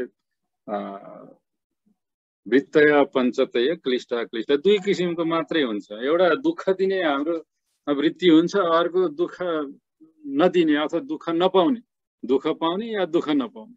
यो बिचमा खुसी पाउने भन्ने चिज हुँदैन। किनभने सांसारिक मोहमा पर्दाखेरि सुख भनेको जहिले पनि दुःख दिने नै खालको हुन्छ। हेर्दाखेरि सुख हुन्छ एकछिनपछि त्यसले दुःख निम्ति आउँछ। एउटा क्लिष्ट र अक्लिष्ट भनिदिनु भएको त्यो एउटा ह्युमन ग्रिड र मेटेरियल एकछिन भौतिक सुखले केही दिइराखेको जस्तो लाग्छ खुसी तर त्यो होइन। त्यसले सधैँ नै त्यसले मेटेरियल लङ्गिङ र लोभले हामीलाई दुःखै दिइराखेको हुन्छ जहिले पनि पीडा नै दिइराखेको हुन्छ। त्यो हाम्रो प्रब्लम हो नबुझ्नु हाम्रो प्रब्लम हाम्रो वरिपरिको व्यक्तिहरूलाई बुझ्न नसक्नु र तिनीहरूसँग हार्मोनीमा बाँच्न नसक्नु त्यो समस्या हो। गरिबी एउटा ठुलो समस्या हो। जुन सजिलै निवारण हुन सक्छ यदि हामीले जुन यो युद्ध र त्यसमा खर्च हुने जति पनि गोला बारुद र जति पनि अस्त्र शस्त्र छन् ती सबैमा हुने खर्च हामीबाट केही पर्सेन्टेज मात्रै पनि हामीले तान्यौँ भनेदेखि यो संसारमा दियौँ भने यो गरिबी एकदम सजिलैसँग निवारण हुन्छ यो संसारको कुनै ठुलो प्रब्लमै प्रब्लम त हामी सबै आफै बनाइराखेका छौँ। हामी अरू हाम्रो वरिपरिका व्यक्तिलाई बुझ्न सक्दैनौँ किनभने हामी थुप्रो चिजको अहङ्कार र भावना हामी गलत भावनाहरू पालेर राखेका छौँ। मेटेरियल लङ्गिङ यो सबै कारणले गर्दा हामीले दुःख पाइरहेका छौँ। र यो सबैको उत्तर के हो? उत्तर एउटै हो। आध्यात्मिक चेतना। आध्यात्मिक चेतना त्यो परम चेत त्यस्तो आनन्ददायी चिज छ। सबैसँग मिलेर बस्नलाई जसले प्रेरित गरिराखेको छ। जुन भनौँ यो संसारमा यो म्याग्नेटिजम र उसको फिलोसफीले स्वामीजीले कति मजाले भन्नुभएको छ कि सबैसँग हामी त्यही म्याग्नेटिक वेभको कारणले लिङ्क अलरेडी छौँ। त्यो चिज बुझ्न सक्यौँ भने आध्यात्मिक चेतना त यतिकै आउँछ। हामी किन हार्मोनीमा बस्न सकिरहेका छौँ? जब हामी त्यो चिज बुझ्छौँ कि सबैजना एउटै मूल स्रोतबाट आएका हौँ हामी सबै एक अर्कासँग मूल रूपमै लिङ्क छौँ र बायोम्याग्नेटिजम र म्याग्नेटिजमको आधारमा हामी जुन बेला पनि सबै व्यक्तिसँग निर्जीव सजीव सबैसँग नै इन्टरेक्सनमा छौँ। हामी एक्लै एक्लै होइन भनेर होइन होइनौँ है भनेर हामी बुझ्न सक्ने भइसकेपछि त्यो सबै चिज त हटिहाल्छ। एक्लै एक्लै हाम्रो अस्तित्व होइन हामी सबै एकै हौँ र हामी हरेक जो एक्लै एक्लै भन्ठानेका छौँ उनीहरूसँग हरेक समय हरेक क्षण अन्तर्क्रियामा छ। त्यो म्याग्नेटिजमको मार्फत हामी अन्तर्क्रियामा छौँ। यो हामीले तुरुन्तै बुझौँ आध्यात्मिक चेतमा तुरुन्तै प्रवेश गरौँ र त्यो परमात्मा बोधलाई तुरुन्तै प्राप्त गरौँ समय घर्किरहेको छ। समय कहिले पनि एउटै छैन। त्यसले अगाडिको अर्को क्षणमा लगेर हामीलाई पुर्याइदिइरहेको छ। हामी अगाडि अगाडि बढिरहेका छौँ। र त्यो अगाडि अगाडि बढ्ने क्रममा हामीले अघि गरेको चिजको रिजल्ट अहिले पाइरहेका छौँ। हामी दुःख प्राप्त गरिरहेका छौँ। त्यही भएर जुन अहिले हामी जुन क्षणमा जुन स्थानमा छौँ त्यहाँ राम्रो केही कार्य गरौँ ताकि समयले त हामीलाई घर्काइहाल्छ अगाडि। अगाडि यसको रिजल्ट हामी सही रूपमा प्राप्त गर्न सकौँ र हामीले आध्यात्मिक चेतनामा नगरेका कार्यहरू सबै नै तिरोहित गलत हुन्छन्। र त्यसले हामीलाई कहीँ पनि पुर्याउँदैन यो संसारमा। र आगामी कुनै संसार छ भने त्यहाँ पनि हामी गलत ठाउँमै अवश्य पर्नेछौँ।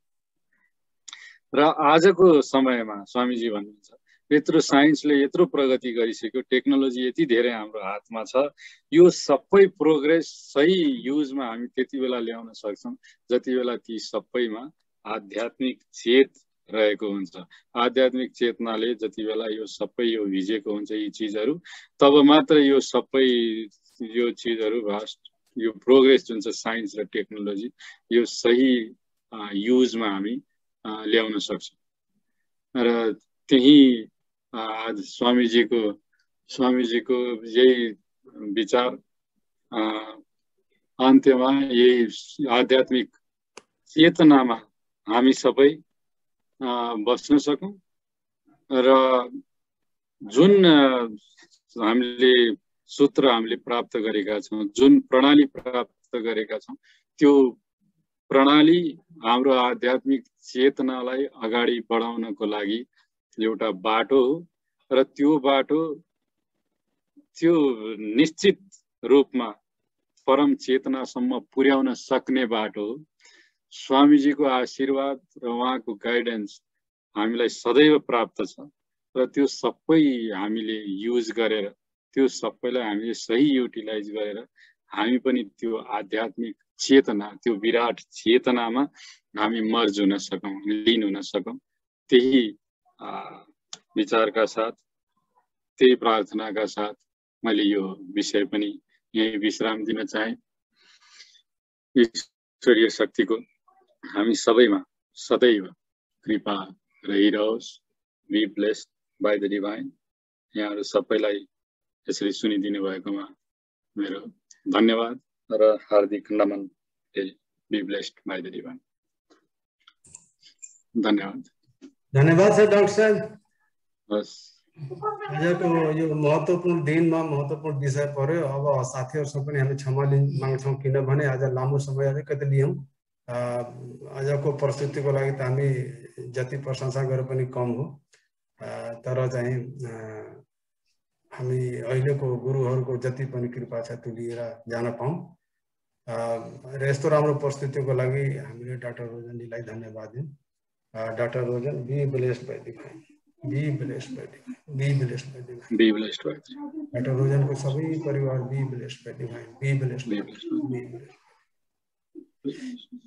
साथीहरू आज डाक्टर जनार्दनजी यही हुनुहुन्छ उहाँले आफ्नो चाहिँ आजको यो गुरु महिमाप्रति उहाँको पनि केही विचार छन्। उहाँले रिक्वेस्ट गर्छु डाक्टर ढुङ्गाना प्लिज अलिकति नमस्कार। सबै महानुभावहरूलाई विज्ञहरूलाई डाक्टर साहबहरूलाई नमस्कार। अब भर्खरै हामीले सुन्न पायौँ डाक्टर रोजनज्यूको चाहिँ प्रवचन त्यो चाहिँ पोस्ट डाइमेन्सन लम्बाइ चौडाइ गहिराई उचाइ चारै ढुङ्गाबाट चाहिँ बडो। गठिलो वजनदार गुरुत्वाकर्षण भएको गुरु सँगसँगैको गुरुत्वाकर्षण त्यस्तो भएको सम्मोहन गर्न सक्ने खालको नि प्रवचन सुन्न पाइयो खुसी लाग्यो। नेपालमा पनि यस्ता व्यक्तिहरू बिस्तारै बिस्तारै सिर्जना भएपछि अब चाहिँ बिस्तारै चेतनाको उज्यालो चाहिँ सबैतिर फिरिन्छ कि भन्ने हाम्रो आशा हो। गुरु ब्रह्मा गुरु विष्णु गुरुदेव महेश्वर गुरु एक पर ब्रह्म तस्मै श्री गुरवे नारायणं पदमं वसिष्ठं शक्तिं च तत् पुत्रपराशरं च व्यासं सुखं गौडपदं महान्तं गोविन्द अथवा शिष्यम। अब पहिलो गुरु नारायण हुनुहुन्थ्यो क्रमिक रूपमा धेरै गुरु हुनुभयो अब अरू धेरै हुनुहुन्छ है गोविन्द योगेन्द्र त्यसपछि अरू अरू जस त्यसमध्येमा अब अहिले हाम्रो सम्पर्कमा हाम्रो चाहिँ चर्चामा आउनुभएको विरात्री महर्षि हुनुहुन्छ। उहाँलाई नमन छ। त्यसपछि सुब्रमण्य लक्ष्मण उहाँले त हाम्रो यहाँ साक्षात्कारै गरिदिनु भयो यहाँ आएर चाहिँ हामीलाई शिक्षा दीक्षा दिनुभयो हामीलाई ज्योति जगाइदिनु हो उहाँलाई पनि नमन छ। त्यसपछि संस्था खोलिदिनु हो डाक्टर जयसिंह शाह उहाँलाई पनि नमन छ। अब अहिले आएर बिस्तारै ज्ञानगुणका कुरा सबै एउटा प्याकेजै लिएर आउने हाम्रो रोजन घिमिरे डाक्टर रोजन उहाँलाई पनि नमन छ। सबैलाई नमन छ यो हाम्रो भाग्य हो। अब यस्तो कुरो चाहिँ नि पहिले पनि सुनिन्थ्यो अहिले पनि सुनिन्छ। अब यो के भन्छ अघि रोजन घिमिरेजीले भन्नुभयो वेदात्रियम चौधवटा कुराहरू उहाँले दिनुभयो। त्यो चौधवटा कुरो दिनुभएकोमा मेरो मेरो मेरो ध्यान चाहिँ कहाँनिर केन्द्रित हो भनेदेखि अहिलेको वातावरण। शान्तहरू साधुहरू विद्यार्थीहरू बस्न सक्ने ठाउँ भयो कि भएन? वातावरण बस्न सक्ने ठाउँ भयो भएन? अब यदि चाहिँ चेतना कम भयो भनेदेखि त साधु पनि भाग्छन् ज्ञानी पनि भाग्छन् विद्वान पनि भाग्छन् अनि सबै भागेपछि त्यहाँ को भयो दुई चारजना त्यस्तै त्यस्तै मान्छे मात्रै बस्छन्। त्यो बस्नु लायक ठाउँ हुँदैन। त्यसरी बस्नु लायक ठाउँ बनाउने कसले त भन्दा गुरुले। गुरु कसरी पाउने त? गुरुलाई ठिक ठाउँमा हामीले कसरी पाउने त? जनता जागर गर्नु पऱ्यो। जनता जागर कसरी हुने त? गुरु। यस्तै। अब अहिले आउनुभयो हाम्रो रोशन डाक्टर रोशन त्यस्तै अरू हुनुहुन्छ होला। उहाँहरूको मिसन।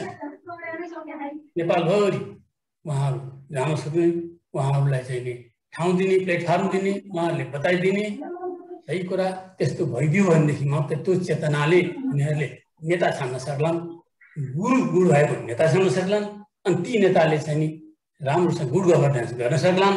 त्यसपछि साधु पनि बस्न हुने ठाउँ हुन्छ यो विद्यार्थी पनि बस्न हुने ठाउँ हुन्छ।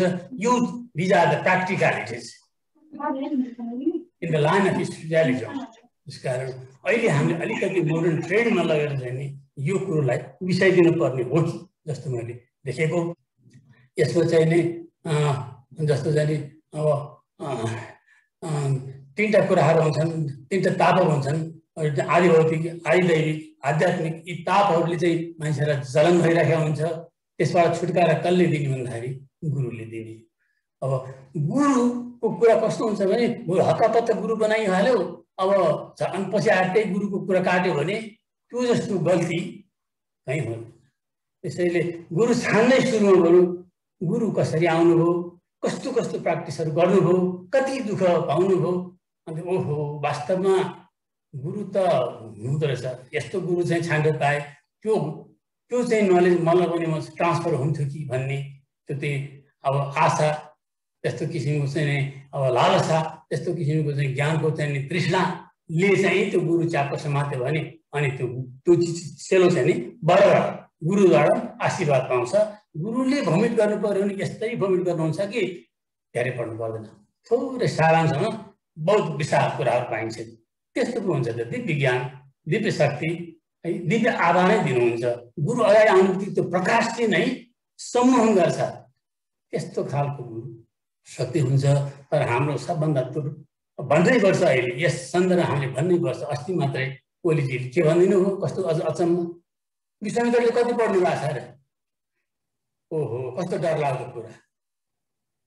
जो मन्त्र द्रष्टा हो जसले राम के अरे भन्छ राम र लक्ष्मणलाई पढाउनु हो जसले चाहिँ च्यालेन्जिङ फेजमा क्षेत्रीबाट ब्राह्मण हुनुभयो त्यतिखेर अलिकति विश्वामित्रले कन्फर्म नगरेको खण्डमा उहाँले अर्कै ब्रह्माण्ड बनाउँछु भनेर जुर्मुराएर एकदम तयार हुनुभयो। त्यस्तालाई कति पढाएको छ टिक्का यस्तो यो अभिशाप कसरी सुन्ने? त्यस कारण यो ज्ञानीहरूले नै यो कुराहरू मिसनमा लगेर चाहिँ यो त भएन भनेर करेक्सन गर्नुपर्छ जनताले करेक्सन गर्नुपर्छ जनताले करेक्सन गर्नुपर्छ अनि गुरु ल्याएर गुरु स्थापित गरेर बल्ल गुरु गर्न जान्छ त्यसैले गर्दाखेरि बडो खतरनाक ठाउँमा हामी बसिरहेका छौँ त्यसैले गर्दाखेरि यो यसलाई कसरी गर्ने भन्ने कुरो गुरुको आशीर्वाद चाहिन्छ गुरुको हावा चाहिन्छ गुरुलाई नमन गरौँ गुरुको पछि लागौँ गुरुको शिक्षा लिउँ अब यति भनेर म मेरो आफ्नो दुई शब्द यहीँले बिसाउँछु सुनिदिनु भएकोमा धेरै धेरै धन्यवाद। धन्यवाद छ डाक्टर ढुङ्गानाजी। र आफ्नो मन्तव्य प्रभुत्कार यो प्रस्तुत गरिदिनु भएकोमा हामी अनुग्रहित हामी धन्यवाद दिउँ doctor Dhungana be blessed by divine be blessed by divine be blessed by divine doctor ढुङ्गानाको पुरै परिवार, be blessed by divine be blessed be blessed